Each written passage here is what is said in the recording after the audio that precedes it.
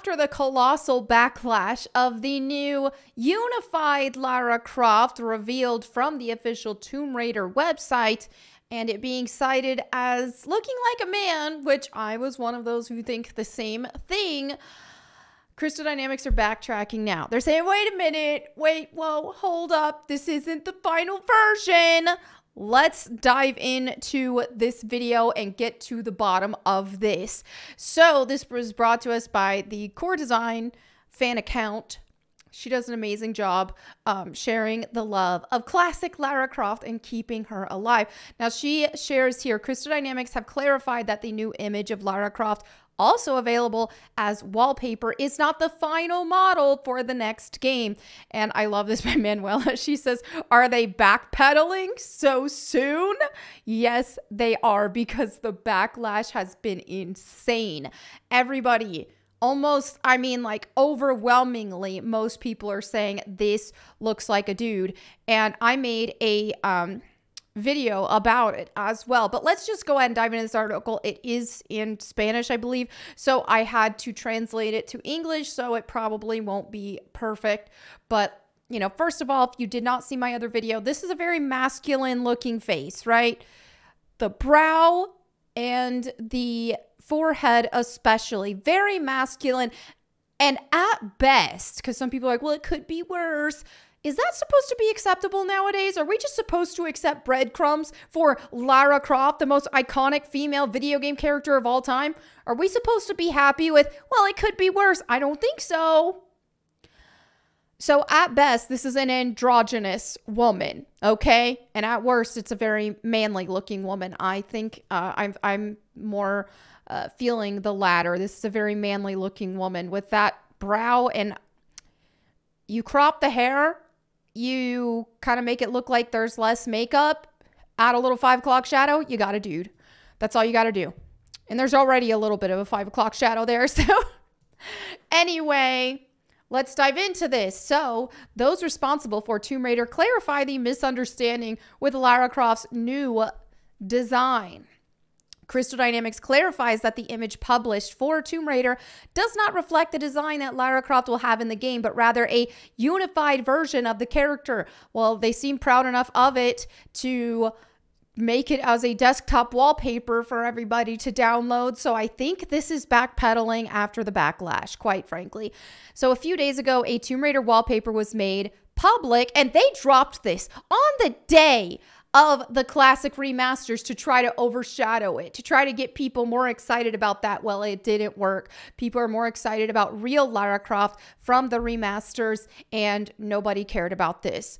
Um, okay since his appearance, or again, translation issue, since, well, either that or it does look like a dude, so I can understand. Since her appearance seemed like a hybrid version between the classic character and the version from the latest reboot trilogy, many people were quick to think that it was the first image of the new game in the Tomb Raider saga. However, those responsible have clarified that this is not the case. The new image published by Crystal Dynamics does not correspond to the design that Lara Croft will have in the video game that Amazon Games is going to develop. This has been clarified by those responsible for the project in statements issued to Vandal, where they assure that this wallpaper actually shows a unified version of Lara Croft, as they also indicate in a recent tweet. I mean, we knew that much, but we were led to believe that Lara Croft would be unified in the next game, which is retarded. I don't want unification.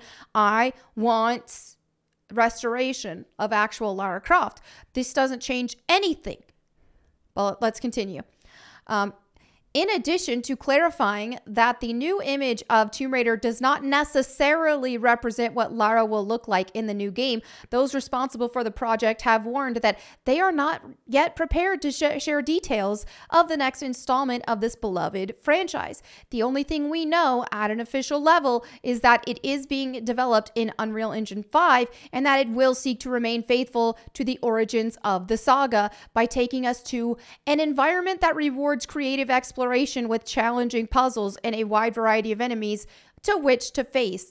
I don't trust Crystal Dynamics to do anything faithful to classic Tomb Raider.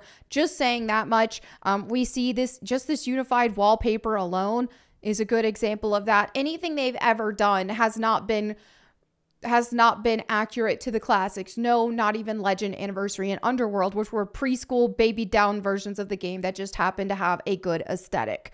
Um, but completely changed Lara Croft as a character, her backstory, adding these companions in which changes her personality dramatically because Lara Croft liked to work alone and so on and so forth. But that said, this leads me to want to share a comment, which hold up, I've got to pull this from my DMs. Um, and I do not want to share my DMs with this person from the community. Now, someone in my comments claimed to know somebody who works there.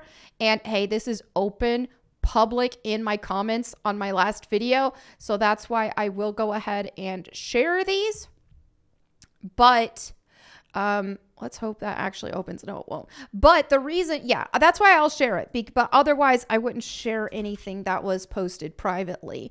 But in this case, it was posted publicly as a comment on my video. But again, this is just from a regular YouTube user. We have no way of knowing if this is true or not. So, all right. Let me close those DMs and I and let's dive into this. All right, so here is part one of the comment. Rashid M. Vraid 1199 says, Important clarification regarding recent Tomb Raider game artwork. Dear all, I wanted to clear up some confusion I initially had when I saw the recent artwork for the upcoming Tomb Raider game. After reaching out to a friend from college who works at Crystal Dynamics, again, this is this may not even be true. It, it, may not. So let's just take this with a grain of salt. Um, I learned that the artwork does not represent the actual reveal of Lara Croft for the next game. It is simply a piece of artwork similar to others where only her backside side is shown. Now, we did see that one with Brenoch Adams that um, was just that. All right. So, according to my friend who works as part of the design team, Lara Croft in the new game is portrayed with a more rebooted appearance, possibly resembling British actress Emily Blunt. Now, after reading that part, I started taking this somewhat like I started entertaining that. Okay, this could possibly be true. Again, maybe not, but there is a possibility of it simply because when we looked at the leaked documents that Sacred uh, Symbols podcast shared, with the casting of the new voice actress, they wanted a woman who resembled Emily Blunt. So either this commenter is privy to that and knew about that and used that in this thing that they could have made up, or it's true, okay? Or they're telling the truth. So let's see. All right, contrary to some concerns, she will not be wearing short pants, but long brown tactical pants, which the fans have been wanting her to wear shorts and be more like classic Lara. So this would just serve the reboot fans. It would not be serving actual classic Tomb Raider fans. While she may appear more rebooted and have a different aesthetic, she certainly does not have a masculine face in gameplay, as my friend showed me on message. Now, I will say I don't think reboot Lara looks like a dude. Um, how do I scroll? I don't even know how to use these freaking pictures. Okay, let me let me try again um, to pull up part two of this. But yeah, I All right, let's continue and then I'll then I'll share some more of my thoughts. Okay. So now we have part two of the comment that says, Furthermore, I was informed that the Society of Raiders mentioned in the artwork is actually a fan member site at Crystal Dynamics, which they already shared that. But the thing is, is the leaked documents indicated that there would be multiple Tomb Raiders, and that's why I was like, hmm, are they doing this? Um, but maybe that was scrapped because of the backlash of the leaks and they just decided to apply that to the website and call the fans that or something. I don't know. There were considerations to include Raiders in the game, but due, oh yeah, here we go. And then there's this. But due to intense backlash, which, which there was, the team decided to start anew and focus solely on Lara Croft in a fresh setting. That would definitely be an improvement over those leaks. If you don't know what all those leaks were, check out my videos in the past that I made about it. However, knowing that there are clowns who work with him, this game will be Crystal Dynamics' last game from the Tomb Raider IP. Embracer Group has told Crystal Dynamics to stop going woke and deliver quality to the gaming experiences for fans and the community. Embracer Group are 100% on the fan side because that's where the money is. Also, I forgot one thing my friend told me if this game fails to meet expectation, Embracer Group will take the Tomb Raider IP away from Crystal Dynamics and shut down Crystal Dynamics for good. Now, this already is very plausible. And before I even saw this comment, I mean, we we seeing what Embracer's already been doing. We we knew this. We were like, okay, they've already been uh, they they've outsourced the remasters to Aspyr. Crystal Dynamics did not make them, and despite Crystal Dynamics trying to sabotage things with like that disclaimer at the beginning and revealing all of this other stuff on the same day of release, it backfired on them. It didn't work. The remasters have been doing very well and they've been going viral. The fans love it, newcomers love it, all that sort of stuff. So, right now, it is not looking very good for Crystal Dynamics. Now, this next game that they are making, assuming it even gets released because Embracer has been canceling projects left and right. Um, and with all the backlash of this unified Lara concept, are who knows? Embracer might go ahead and cancel before they even reveal the game. But if they don't, and because Crystal Dynamics have been working on this next Tomb Raider installment for so long, then before Embracer even bought it. So a lot of money has already been dumped into this before Embracer even bought it. So Embracer might just be like, heck it, release it, and we'll see what happens. However, that being said, Crystal Dynamics has, with their last three games, have had to, to have budgets of over a $100 million per game right? So that's the that's one reason why they were sold in the first place and the Tomb Raider IP was sold in the first place because despite the sales numbers looking high, which a lot of those granted um are fudged because they're counting when they were freaking giving, literally giving some of the games away in bundles, in like uh games like the the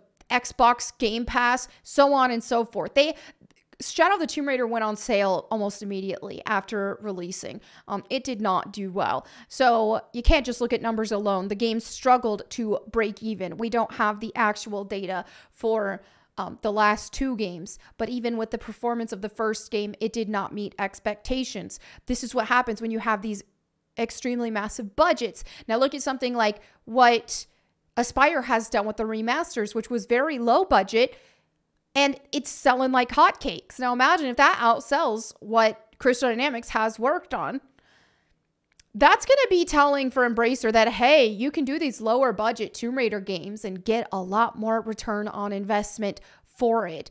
Um, so in this instance, people are already sick of the rebooted formula. People are already ready for Lara Croft to return. So I'm curious to see, assuming all of this is true, which again, though, we already know this next this next game is is Crystal Dynamics' last chance. Embracer isn't going to sink in $100 million into another game if Crystal Dynamics doesn't do well with this next one. I mean, that's just common sense. So, whether or not this comment is entirely true or not, there's definitely pieces of it that we know makes sense and probably is. So, take that uh, as you will. We'll see what happens. In my, in my opinion, best case scenario would be the next game wouldn't even come out. That Embracer would just be like, let's just scrap this in general. See the backlash for everything that Crystal Dynamics is releasing right now or revealing, even with that unified image, and say, you know what, let's just let's just cancel this. The classics are working. Let's remaster four and five, maybe even six, and then continue from there.